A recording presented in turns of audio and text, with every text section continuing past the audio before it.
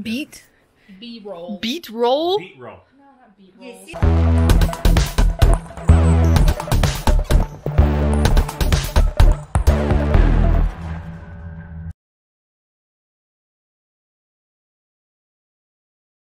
Easy, guys.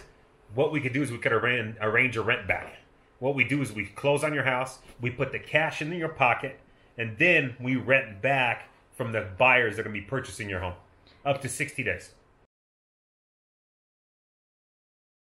Yeah, you pay them daily rent, and you just pay them a fair market value.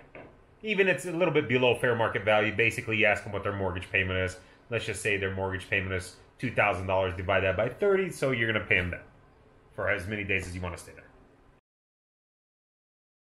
Contract states you could do a rent back up to 60 days, but however, most average rent backs are between three weeks, four weeks. I would say up to 30 days is average. Uh, a little bit less. People are uh, people are more apt to double move now. Uh, the reason is because when the market is solid and when the market is hot, the buyers are willing to rent back more. And when the market slows down a little bit, the sellers would like to just sell and they, they don't have any issues going to temporary housing. On a current deal that we're working with right now, in a typical situation, the uh, clients that I'm working with currently, they would ask typically for a rent back in the position that they're in. They've got quite a bit of furniture to move. They've got to do a double move. And what they would do is we'd sell their house, we'd rent it back, then they would purchase a new one, they would move in.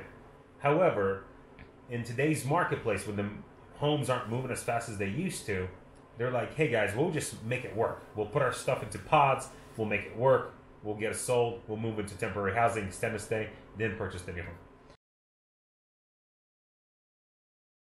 We have to explain it to them.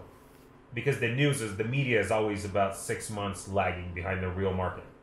Because when you have your boots on the ground, you know what the real market is like every single day.